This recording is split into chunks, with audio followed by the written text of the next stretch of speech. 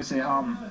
Northug som uh... Vi så han på drag her i går, og da skal jeg love at det gikk uh, fort unna. Han er på vei mot toppformen. har gjort noen veldig gode økter i Trøndelag i jula, og han var hissig på å komme i gang nå.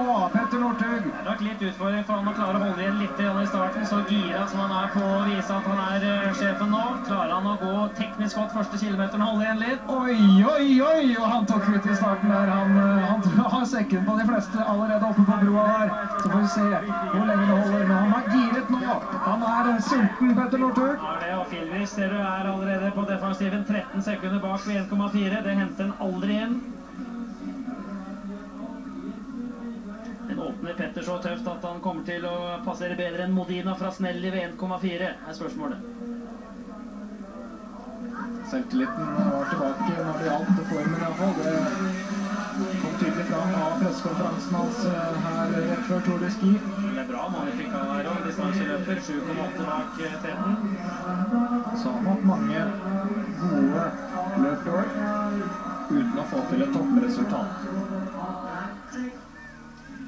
Kjellingen skal jo normalt sett være for slowstarter til å være med det 1,4. Viser jo klokka her òg. Han eh, brøt to Tour de Ski eh, for eh, to, år, to år siden. Stort potensial i går her til Søyren. I toppslag så får han mye ut av de tunge skiva han gjør her. Ikke minst på ei femmil i Kollen. Så kommer Jaojärvi. Og jo bak han altså Petter Northug. Ja, ja, altså, som jeg nevnte, bare skal gå første del av Tour de Ski. Har slitt særlig i skøyting nå. Får det ikke til å stemme der, og det ser vi at han sliter med i dag òg.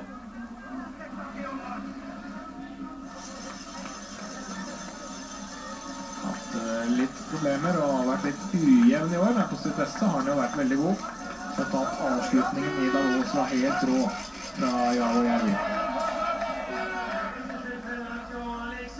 også vært god i Oddroff tidligere, men det er først på jaktstarten den andre dagen.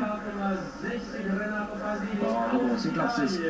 Ikke noe dårlig tid han har ved ved 1,4, men han kan nok ikke gjøre noe med Frosnelli herifra igjen. 8,7 bak.